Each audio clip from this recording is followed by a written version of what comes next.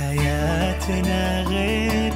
لما تملى بالخير وفيها يفرح الغير ومنها تحلى أيام نسابق الطير ونجاريه ونطير آمنا بتغيير شباب حقق أحلام